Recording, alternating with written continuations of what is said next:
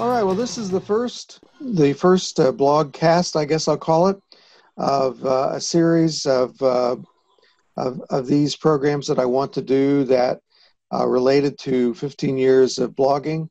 And I picked some topics that I focused on. I tend to get onto topics and ride them to death. And so here's uh, the first one we're going to take that a book came from.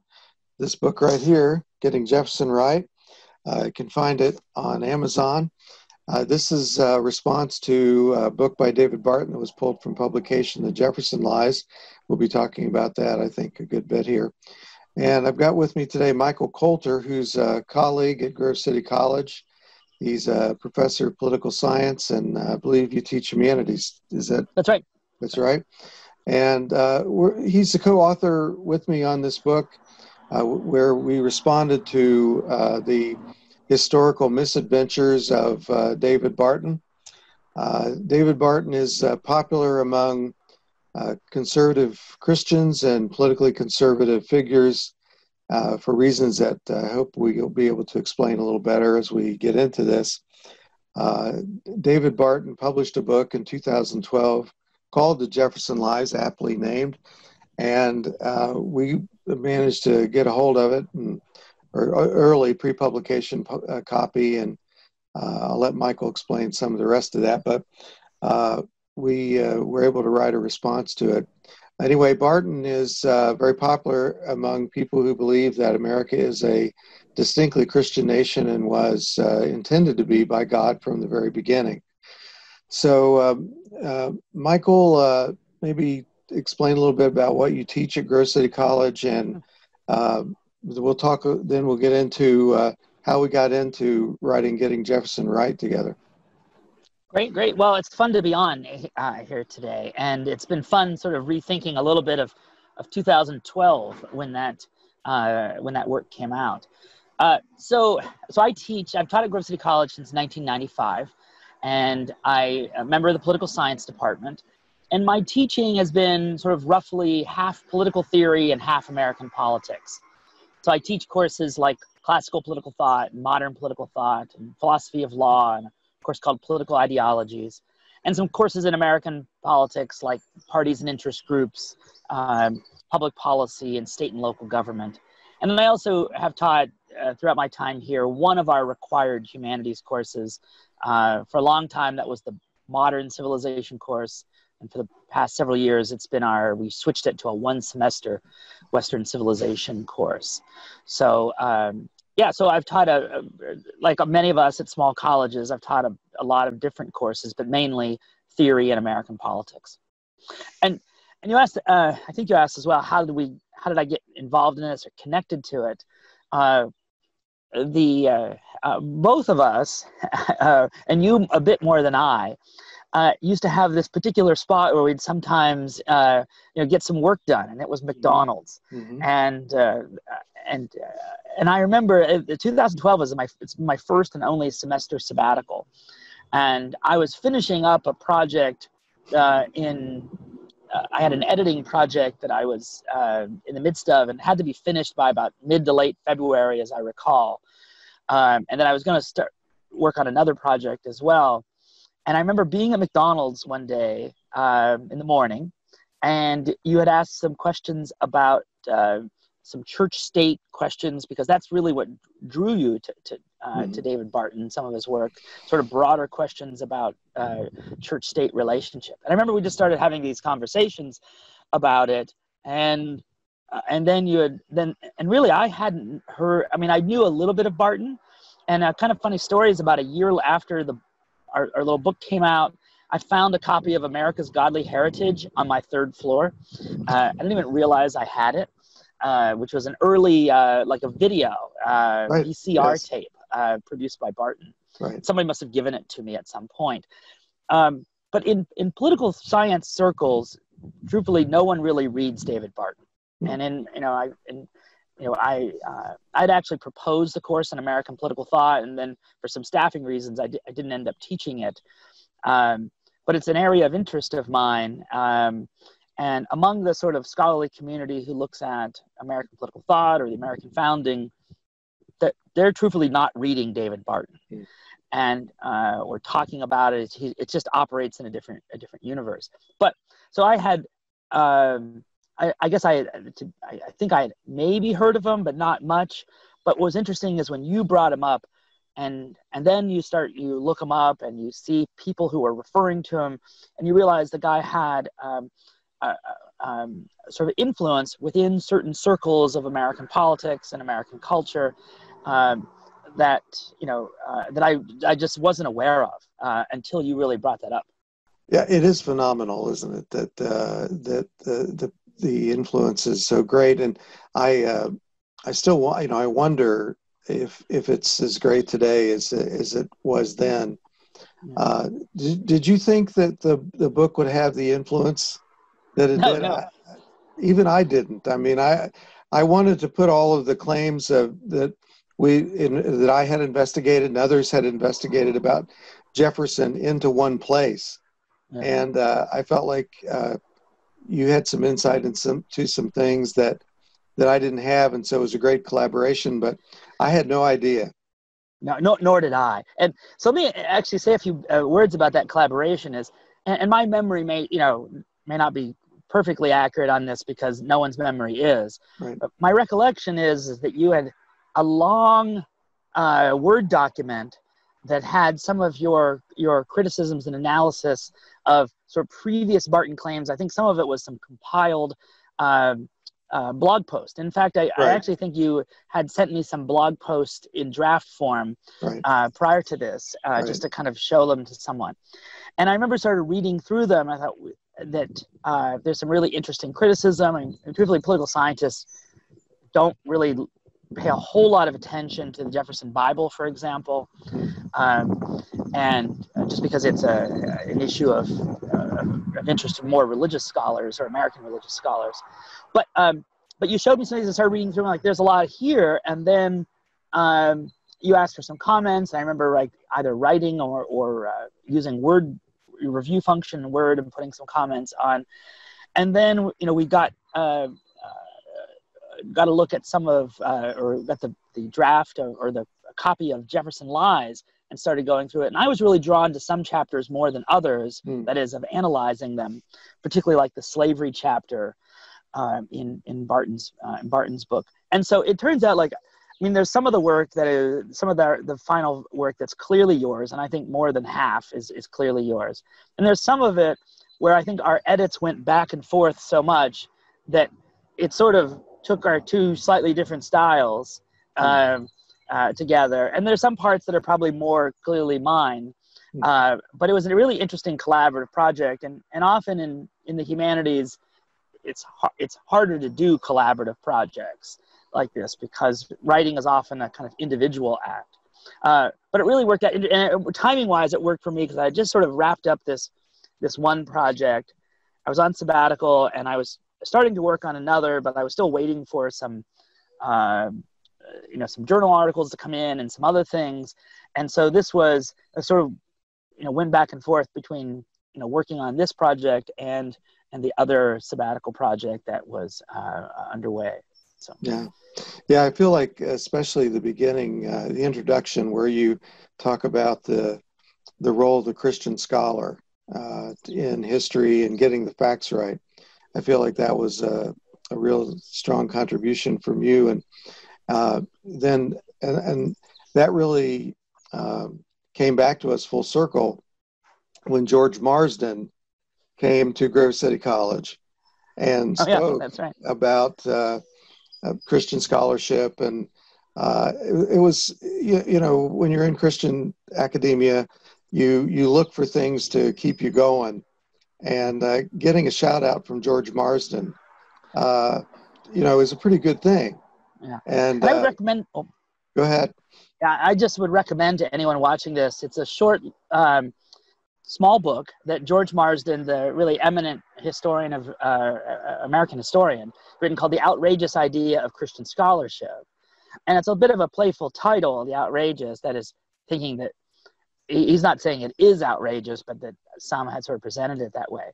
But um, you know, it is a call for you know, um, like ex- excruciating honesty uh, from from scholars, um, from Christian scholars, and to not um, you know turn certain figures into saints and to use sort of a, a, a sort of misshapen or misrepresented history as a tool of evangelism. That's not what Christian scholarship is. Um, mm-hmm. And so Marsden's work, um, that that's really what inspired me. That short little book. Um, but any of his work is is is worthy of, of sort of careful study. I mean, um, and so uh, so Marsden's a great example, and that was really fun to get that shout out.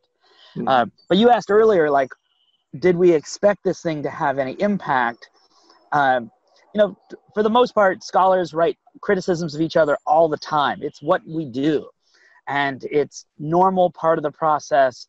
And that's kind of where you think it ends. You know, someone writes, makes a claim, others make a counterclaim. Maybe there's a response, and and that's kind of where it ends. Um, uh, but you know, I, I've certainly never been involved with anything, and and I can't imagine ever will again that leads to a book being pulled by a publisher. And uh, I actually remember where I were when you called me, when you found out that the book was pulled by a publisher. I was actually helping a friend stain his house, part of his house, of all places.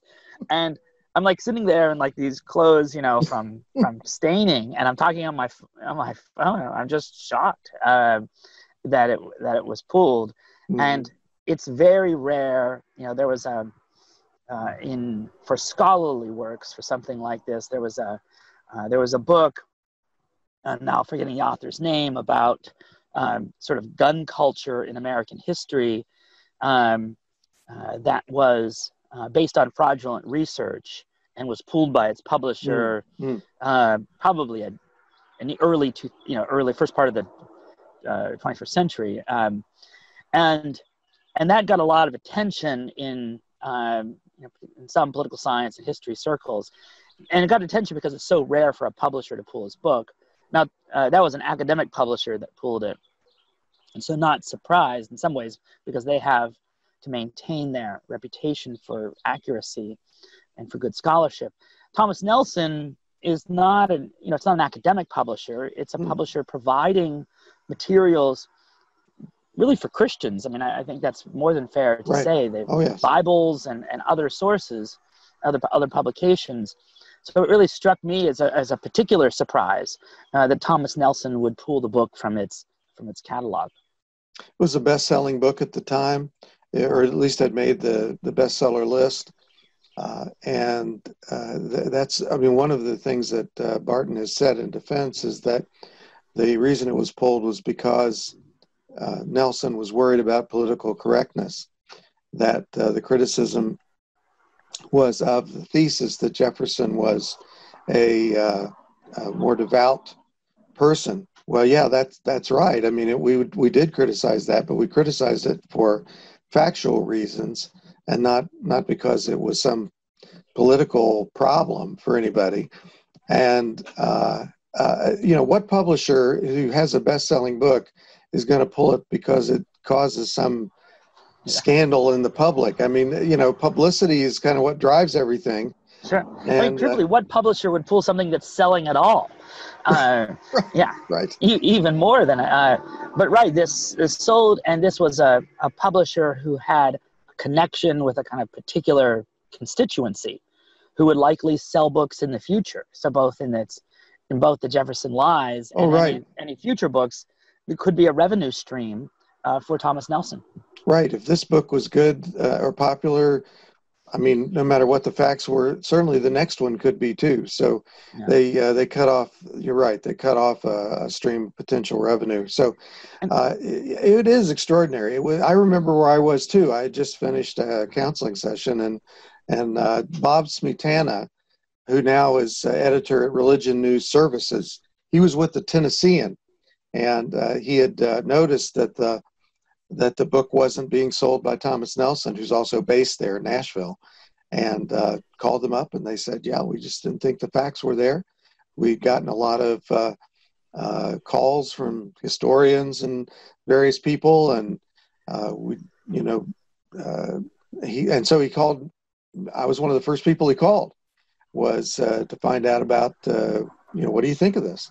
So um, yes, uh, it was uh, not something I necessarily expected. Although certainly, I think we both agreed that it was the right call for them to make. Well, one thing that really strikes me is is I would love it if Jefferson, for example, were were really consistently anti-slavery. Like I, I wish that Jefferson, in fact, freed all of his slaves right. and was uh, uh, and that would be a great story to tell. But the problem is, it's not a true story. Right. And and so um, you know, and, and, then it makes it worse, right, for those who, who want to defend that there are some you know uh, laudable elements of the American founding. Is is if someone gets presented as uh, you know uh, as falsely for being sort of completely good when in fact you know he had this really significant problem and uh, so so I, in some ways i don't know I, I, it's hard to get in what is the motivation for barton here um, but if he thought that he was doing a service to the to the, sort of principles of the american founding it, it's sort of the, the opposite mm. you know uh, by presenting some, you know someone like jefferson falsely it undermines the case you know then you end up doubting anything that could be useful um, or that's important or you know a universal principle let's say uh, from from jefferson. Yeah. Now you know the, these whatever the real motivation is there's an audience for this. And clearly the book was selling and and he's got a a base that uh, you can uh, go to and he continues to go to. And others like him. I mean he's certainly not the only one. So what what do you think is driving that? What what are people attracted to in uh, the Christian Nationalist project? Yeah, uh, you know, here I I am partly have been influenced in the last several years from some of the research and work of Jonathan Haidt, um, yeah. and uh, uh, Haidt. Uh, has made a pretty uh, persuasive argument uh, from his uh, from his work as a social psychologist um, and moral psychologist that um, as human beings we we seem to form teams. We're fundamentally groupish is i think is the way he puts it. Mm-hmm. and we like things that support our team and we think we like things that are critical of the other team right? Uh, and now that that seems overly simplistic uh, but it does help to explain a lot of human behavior. And i think in one way this if you're on a sort of you know team Christian America. And what I mean by that would be like if if it if you find it a kind of supportive narrative that helps you understand the world, that America was a kind of particularly Christian nation, and that uh, God sort of set it apart for this special role in the modern world, um, it, it, would support that view. and provide confirmation to your existing positions, your priors, uh, that uh, that Jefferson was, in fact, has, uh, you know, more Christian than we've realized, more anti-slavery than we realize, right? It would, uh, it would bolster support for that for that narrative, and so I think that's one reason why people are attracted to it is that it supports a narrative, an account uh, of how they sort of generally are inclined to think about America, and this provides sort of evidence that we like if you're in that if you're in that position, and um, and it gives it a it, sort of makes it even less complicated that is it makes it mm. sort of simple and clear mm-hmm. that you know that the american founding has been maligned uh, you know by you know academics or journalists or somebody and and we're here to you know here speaking as barton but like i'm here to to, to point out the real truth uh, so i think that's part of it is like the the interest is it supports a, um, a pre-existing a, a pre-existing narrative um, I also think there's something that that people like to buy books that like, you know, tell you the real truth. You know that. Uh, you know, I, I, yeah, like uh, we're going to, you know, everything you thought. You know, I, I think there's. I've seen a dozen books that had the title, something in the title or subtitle of everything you thought about X is wrong, right? And um, so I think there's also something in you know we're sort of drawn to those uh, to those kinds of works. Yeah, I can, I, it makes me think of a video of uh, the Family Research Council posted of one of uh, the Capitol tours that David Barton leads.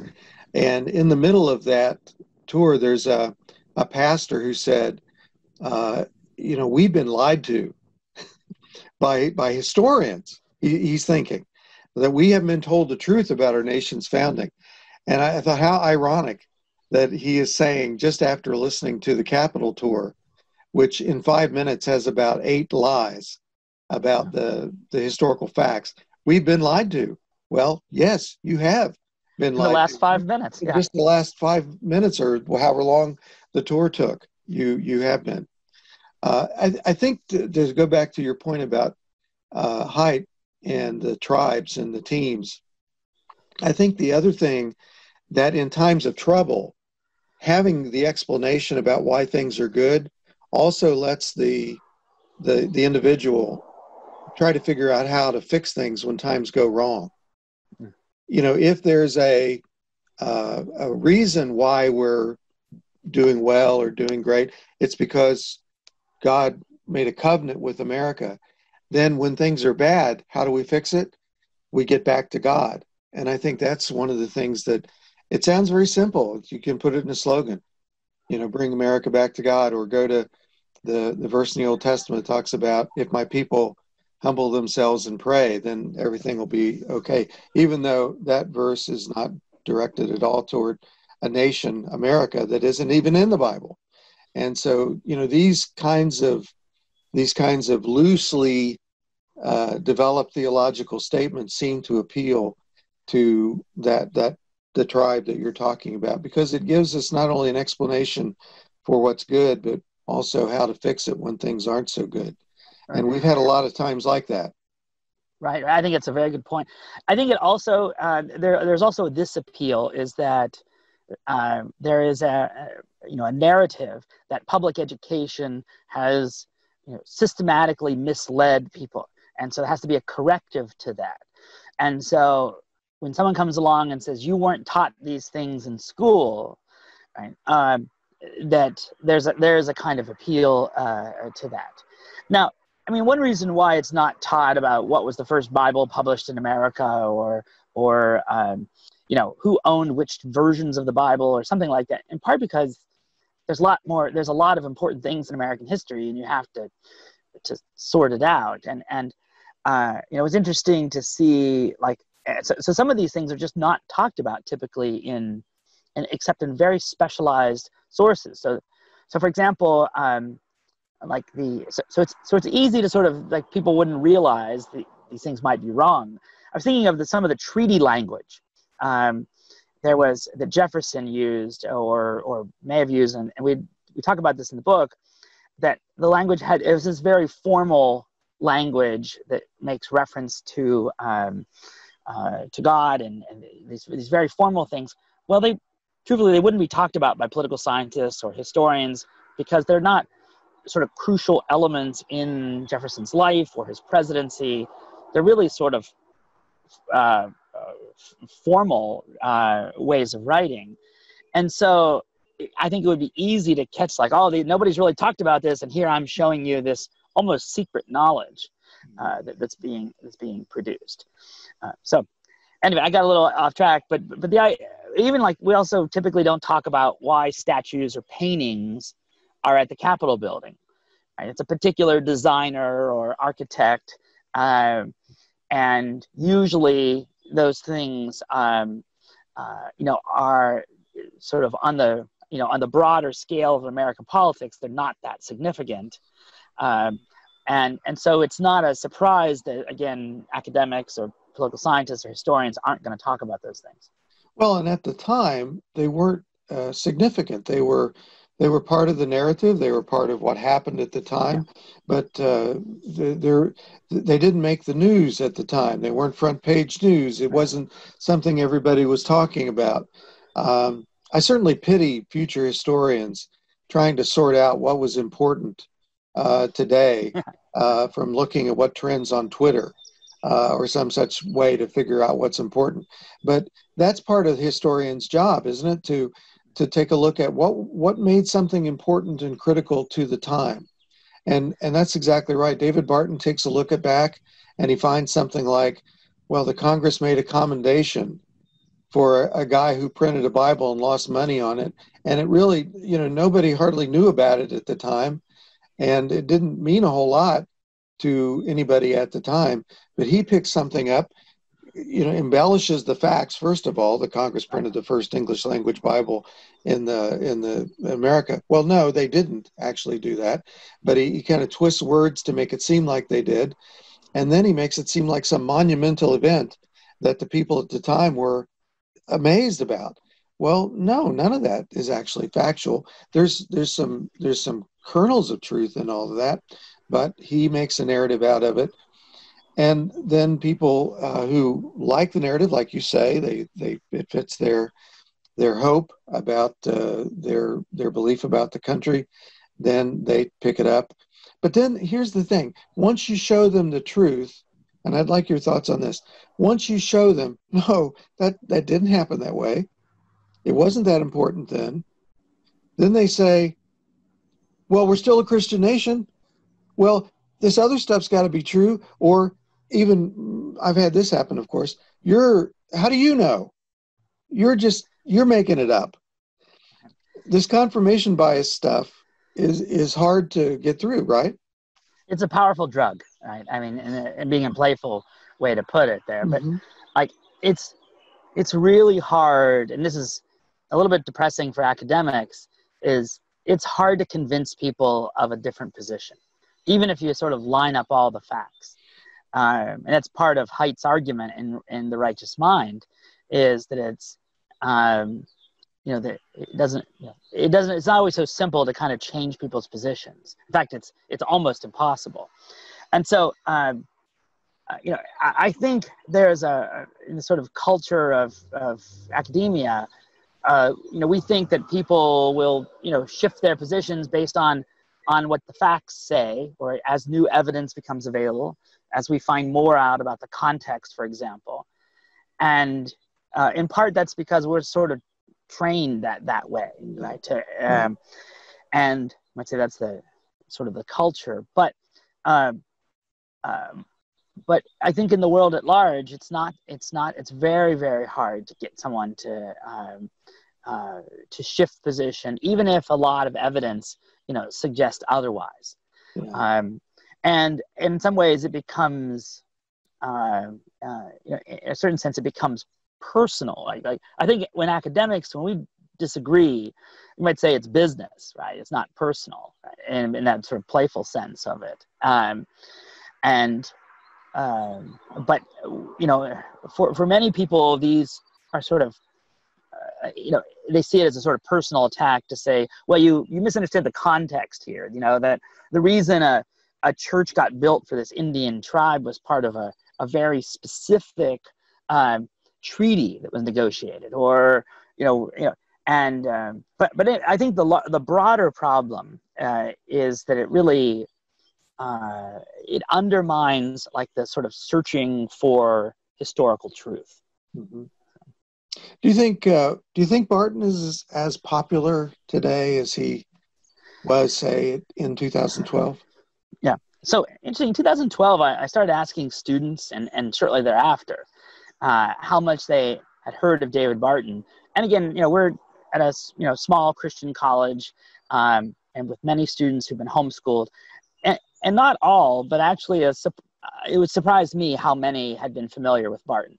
Okay. Uh, that that caught me a bit by by surprise.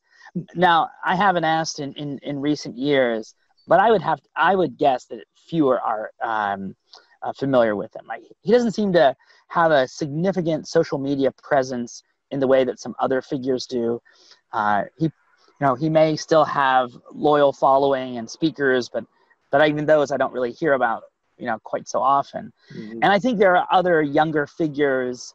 Um, uh, you know, I think you mentioned to me someone like Charlie Kirk, who mm-hmm. you know has a large social media presence, right. um, and uh, you know, and uh, Candace Owens, Candace Owens to a degree. I actually think it's sort of more Kirk, and Kirk has this. Um, I forget the title actually, but he has a book about Western. Um, no, Ben Shapiro has the book about Western civilization, but um, uh, but uh, Charlie Kirk has tried to take his Turning Point USA into into not just sort of you know uh, pure political activism in the sense of you know knocking on doors and making phone calls for candidates, but to but to try to present a kind of intellectual account of America. Uh, I think just a couple weeks ago he was talking about Plato and Aristotle, which caught me by surprise. Mm-hmm. Uh, but uh, so I do think younger folks uh, sort of tune in to those figures because, and here not to sound like you know grumpy old guy, but they don't read books. And If your source of information is social media, mm-hmm. right, and these are important channels of communicating, people like Candace Owens and, and uh, Charlie Kirk have sort of uh, connect with younger people. And Ben Shapiro, for that matter, who I who I think is actually better. I have lots of points I disagree with him, but um, on some things. But but I think he is more scrupulous about some of his claims. Um, you know, really is influential in, in social media. Like his he has a, a podcast that's almost every day. Mm-hmm. and uh, it has really um, i was surprised recently to see how many uh, subscribers he has to his podcast Mm-hmm. Um, so, um, so I do think some other younger younger figures. I think the other part of this is that as a percentage of the total population, uh, evangelicals constitute a smaller percentage, and then among evangelicals, uh, you know, those who are sort of commit, you know, who have a you know, sort of general orientation to a kind of Christian nationalism would even be smaller still. That is, so it's important and vocal, but it's a smaller part of the population even so, some some of the studies I've seen that have tried to sort this out uh, show some connection association between Christian nationalism beliefs and Trump support. Have you I've, seen that? Yeah, I've seen those, and I, have It's a little bit a while since I've uh, read some of those articles. Although there was one not that long ago, um, and what they do is they take a look at 2016 uh, data, look at some exit poll data, and so they can look at individuals and they try to see what is like the the what looks like the causal link between beliefs and voting for uh, voting for Trump, and, and there is a clear connection, like certain issue positions, um, and uh, uh, like um, and certain you know whether how much they strongly agree or whatever how they agree or disagree with certain kinds of statements so um, holding to certain views of Christian nationalism, um, you know, and, and including some of those would be like strong positions against immigration uh, and concern about um, Muslims, uh, you know, Islamophobia, as, we, as it gets called. The um, those seem to be really strong uh, connections between, you know, holding those positions and and voting for Trump in 2016. So, um, so you know, I, I, don't think this is, you know, a majority of, uh, of even, the, I think it's a large portion, maybe even a plurality of the Republican Party. I don't think it's a majority. Uh, but, um, uh, uh, and, and, I think it, it ha- like, these are like the, the true believers in that, you know, that, that Trump is, uh, you know, going to protect and, and keep America as a, as a Christian nation. Mm-hmm. Um, I, I think I, am I'm, I'm reminded of there's some there was some painting that was sort of circulated, some image of like Jesus with his sort of arms around somehow or hands on the shoulders of Donald Trump in the Oval Office uh, that sort of seemed to encapsulate that that position. Uh, and I don't remember anything like that from you know the religious left with you know Jesus beside Obama or the religious right around George W. Bush. I mean, uh, or even I don't remember anything like that, you know, from you know that was produced during the Reagan period. Um, uh, so, th- so this sort of like very strong connection between a kind of conception of Christianity and a candidate uh, is is a little new. Mm. Do you? So you don't see any of that in the other Christian traditions? Uh, how about you know Catholics, conservative Catholics? Uh, do they see him as a chosen vehicle or not uh not no i mean like they might see him as as politically useful you know appointing judges who will protect life right uh, but uh, uh in uh, american catholicism it really has not been the language uh like the like the, the, the, the narrative of america as a kind of distinctly christian nation really isn't part of even like conservative uh, Catholicism. And uh, so Catholicism has, uh, sort of to oversimplify this, but it has a kind of conservative wing and a more liberal, you know, conservative political wing and a liberal political wing, and uh, you know, different groups sort of emphasize different you know, political issues. Um, but they don't see a particular candidate as like reviving America as a Christian nation, and and that makes sense in the sense is that for the most part, America was pro, you know, almost entirely Protestant at the founding. You know, some Catholics in Maryland and you know a handful here and there, um, and that in fact uh, among some conservative Catholics, they're very critical of like the emphasis on religious freedom that's in, in American history, freedom of speech, uh, what today is gets called integralist. Um, and in fact, there's a you know so there were some writings uh, well, from a pope in the 19th century that that criticized what was called Americanism, but Americanism was associated with um, uh, you know, uh, uh, like a sort of endorsement of Protestantism. so that made sense. So, so Catholics in general uh, have gravitated political figures usually for kind of issues not for restoring a kind of Christian nation. Hmm. Do you think uh, Catholic social justice teaching will bring more Catholics into the the the opposition to Trump around this time around, or how do you yeah. see that in American Catholics? So what's interesting is that um, uh, that, uh, and I should have re- reviewed these numbers before we got on, is that um, uh, you know you have you know American uh, American Catholics are uh, often look like the population as a whole in terms of distribution of votes, and the um, uh, and so you have a sort of a group of Catholics or a portion of Catholics that are particularly concerned about things like abortion, uh, for, uh, for, example, and uh, and appointing judges so that um, you might overturn Roe versus Wade. So that's a, a, a, driving issue. And then some more social justice Catholics who are concerned about you know um, social welfare or access to health care, let's say, um, and uh, and I think you'll have like, uh, uh, and these two groups are fairly, uh, uh you know, sort of set in their preferences. Uh, but but I think this time, I think you will see a, a small but significant. I mean, you know, it could be five or ten percentage points, but that's meaningful in this election right. of more Catholics voting for for Joe Biden. I mean, in part, Joe Biden, you know, who is Catholic.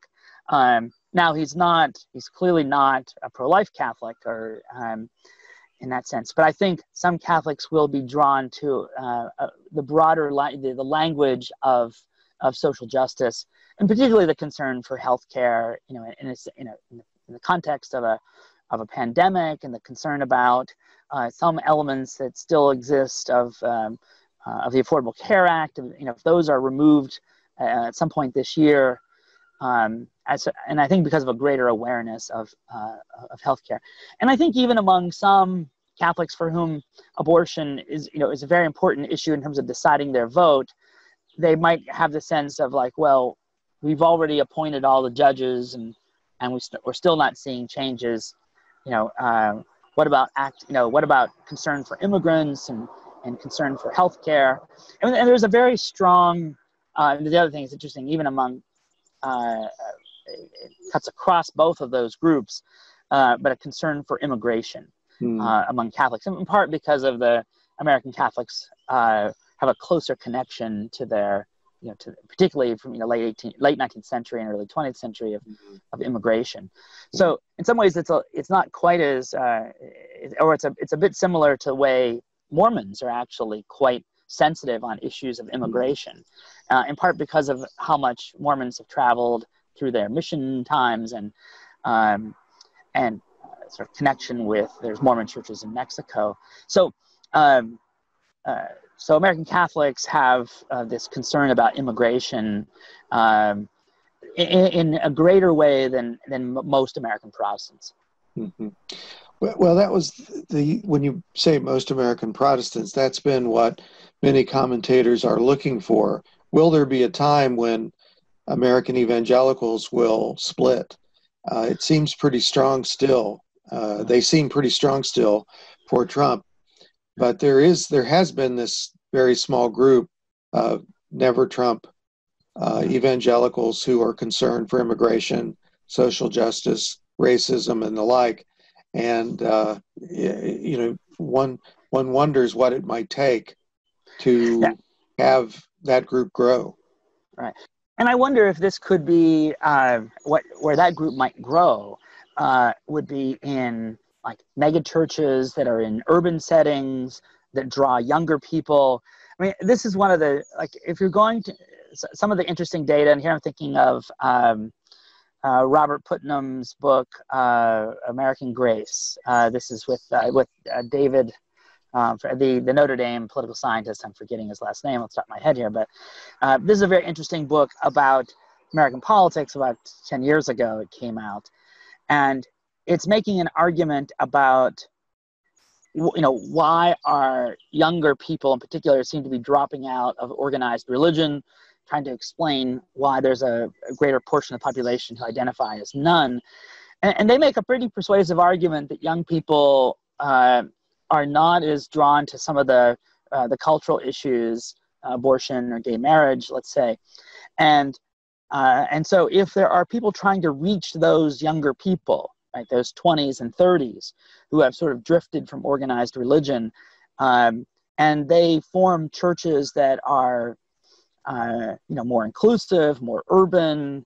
Um, uh, it seems to me that that could be a growth area of uh, sort of non-Christian nationalist um, uh, American Christians. Mm-hmm. Yeah. Okay. Well, uh, you know the, the thing that keeps coming to my mind is that that those younger people get their a lot of their information and we talked about this before from social media and social media is um, how do you tell the how do you tell the truth i mean how do you how do you figure that out and uh, and so i don't know if you, you know, we're getting near the end of our our talk and you know, if they're, this is the, the difficult question. How do you tell? How, you know, you got any advice to I, kind of weed through the, these historical claims or the, these uh, nationalist claims because they do come up and, and uh, people who might feel for social justice, they might really be, they know they're, they're, they're anti-racist. They don't, they don't want to reinforce that that impulse in the society, but they hear we're a Christian nation. We need to vote for pro-life candidates. We need to do this. We need to do that, and they see a lot of misinformation on the internet. How do they sort through it? Uh, that's a, obviously a, that's a long and complicated question, um, and I think about that's this. Why I saved of, it for last. Well, thanks, thanks. no, I think about this for my own relatives I interact, my children who engaged, and this is you know, and this is truth claims from from both the right and the left. Exactly. Um, right. And my general advice, and I'm not sure how useful it is, is be skeptical of almost every everything you hear.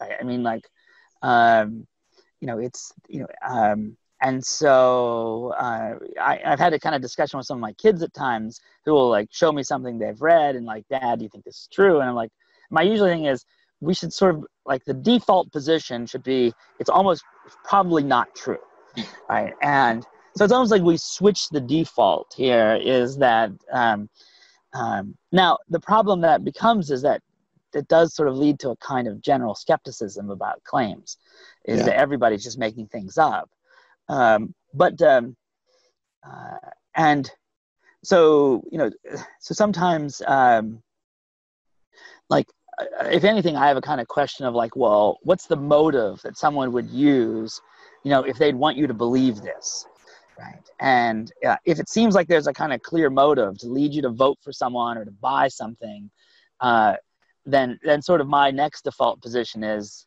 definitely don't, you know, you know. So it seems uh, as a as a kind of sort of tool for gain uh, in that sense. Um, but uh, the problem is it's so easy or the challenge maybe I should put it this way. If the challenge is it's so easy to consume social media. That is to read a book or back in the day, you know, when we were younger, to go read a newsletter or or uh, you know, like a have an organization send you a newsletter. That took a lot of effort. You had to get on a mailing list, have to show up at your house, you had to open it up, and uh, now it is just it's just it's at your fingertips when you're you know scrolling endlessly um, and you know something like instagram where you know you can have these short little video clips that are easy to watch right it takes no effort uh, virtually no effort and so um, so i think the challenge here like you know when you say there's always been a challenge of confronting falsehood or attempts to to uh, you know, uh, lead people astray on, on claims. Um, uh, you know, it may have come in at a trickle before, or you had to go to effort to, to, to see those claims, right? Um, and uh, but but now it's you know it's it's a it's you know it just it, it's a giant sprinkler system. You can't avoid it. Uh, I don't know if that's the right image, but but yeah. So um, uh, and and I know, and I should say for sometimes for students or my own children, uh, uh, you know, like anything that's been forwarded by somebody, uh, I don't, you know, like that's sort of an easy. I think that's a decision Place rule that's fairly easy. Yeah. Right. So if it's been forwarded to you and it doesn't look like um, that that it's attributable to someone, you could figure out the source, um, then you should just disregard it. Like I, I, someone I remember was posting, you know, literally the guy was uh, Doc Graham, who was telling us it was bad to wear masks, right? And okay. so who's Doc Graham? And the only thing I could think of is I'm pretty sure that's the guy who was Moonlight Graham in the Field of Dreams was Doc Graham. um, but I didn't go back and double check. Maybe Dr. Welby. Like, yeah, Dr. Welby. Yeah.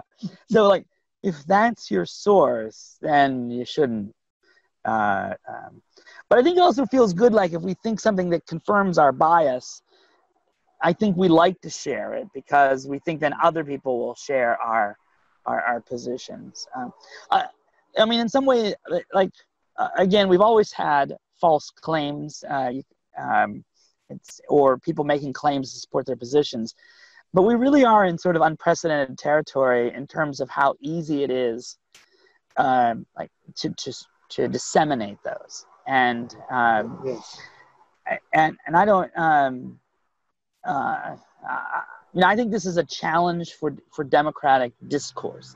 How we talk about issue claims uh, in the modern world, uh, and and uh, you know, so you know, again, maybe just a, maybe I'm going on too long at this point, but I remember you know, running into like a conspiracy theorist and he'd like have to hand you a couple of books or something, you know, when I was 20. And um, that took a lot of effort. Somebody had to print and pay for those, right? Uh, uh, I only finally got rid of that. That book was None, None Dare Call It Conspiracy. It was a kind of famous sort of mm-hmm. conspiracy book yeah. in the in the 60s or 70s. But um, but that took a lot of effort, to, even though those might be cheap, but somebody had to um, to distribute those and print them.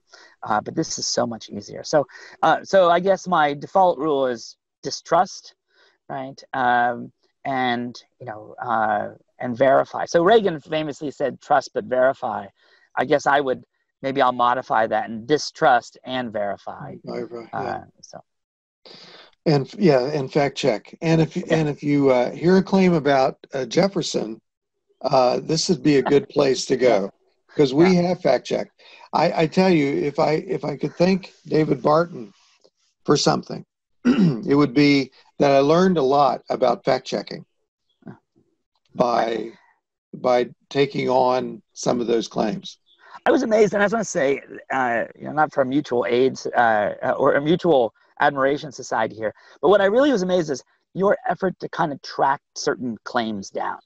like so, sometimes with Barton, you have two sentences and there's five claims sort of all kind of tangled together and you have to kind of pull them apart in strange ways that was hard to find um, and then and so it sometimes took like a detective you know to kind of track them down so whether it was language and treaties or who's printing bibles or subscription lists to buying you know a, a newly printed edition of the bible uh, I, I, know for me like uh, one of my favorite moments uh, working on this thing was finding the text of the law for the um, that enabled Virginians to free their own slaves. Yes.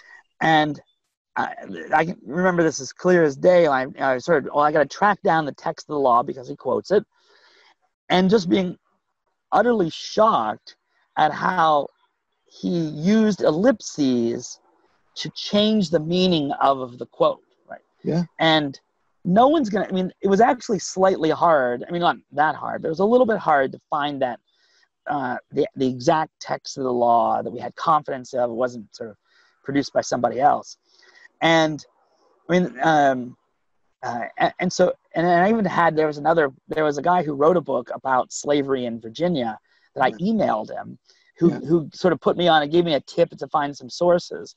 Um, but but this fact checking is it takes sometimes not just your own sleuthing about the internet, finding primary sources, but sometimes finding other scholars, staff members at the Jefferson, um, uh, the Jefferson at, uh, Jefferson at Monticello, Monticello kind of can point you in the right direction and find uh, uh, and help you find sources to verify. But I, I um, but so the importance of like this sort of slow methodical fact checking is you were a great example of that. And it was it was fun to kind of thank you.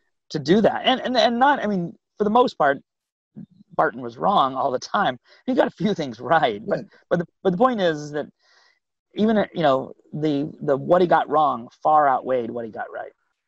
Yes and some of the things that he got wrong i i don't know how they could have I don't know how he could have missed it. Because it, just take the slave law. Yeah. If you had a copy of the the law, you had to deliberately omit those words because once you have it, they're there. And and I mean, unless somebody gave it to him with the ellipsis, and he didn't bother to see, I wonder what was there. What? Yeah. Where could there be anything in the, that was there once? And so, you know, when you see the law and you see, no, Jefferson could have freed his slaves. Yeah. Um, and and he had to deliberately take those words out. That's what really oh, yeah. kind of turns me on to say, okay, we got to track down more of this and be skeptical, like you say. When you get a claim, just because somebody says they're a Christian, just because somebody has a reputation and a following, I hmm. remember Family Research Council said he has more followers than you. well, so what?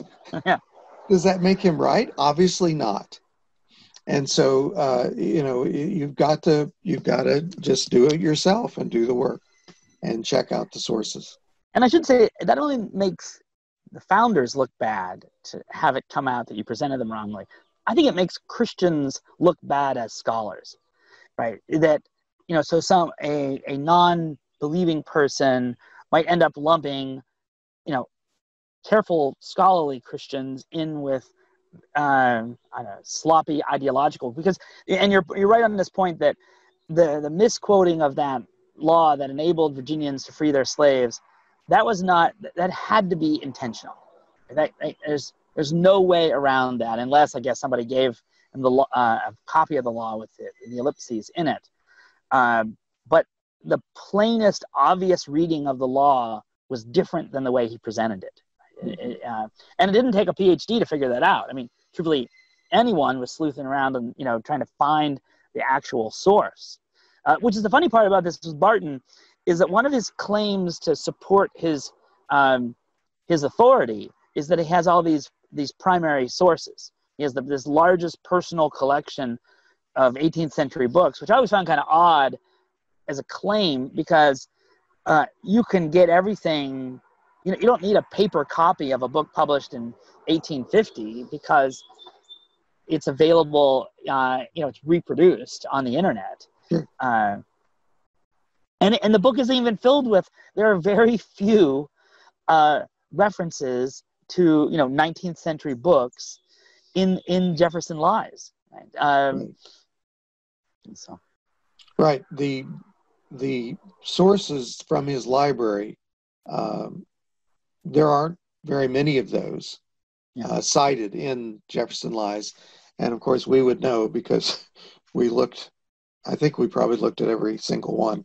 Yeah, I remember like finding a footnote and getting an interlibrary loan or tracking down a book uh, and like, let's just read it in uh, uh, in context. In fact, there was a um, uh, there's a uh, there was a biographer of Jefferson that he cites a bunch of times.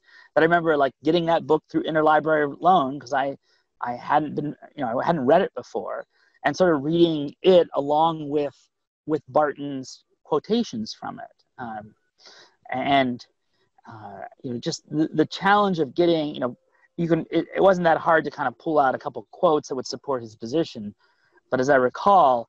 Um, the larger context of that biographer of Jefferson had a had a different point, uh, and a you know, sort of different view of Jefferson than what Barton was presenting. Right. All right. Well, I think we've uh, just about covered it. Uh, anything else you would like to add or uh, say here as we uh, close up? Uh, the the uh, you know it was fun and and I, I, I working on that on that project.